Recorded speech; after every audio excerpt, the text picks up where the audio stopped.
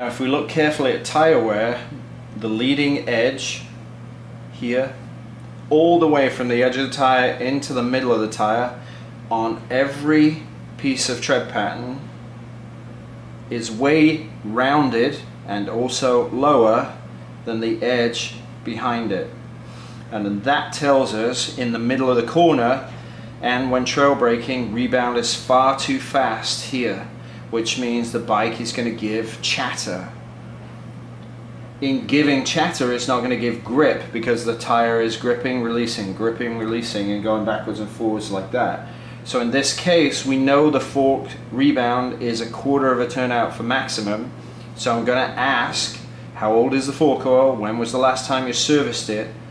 And see what the history is there. And based on that information, we may well change the fork oil and freshen it up so that we don't close the rebound adjuster or put it almost closed to get this tire on the side to stop chattering.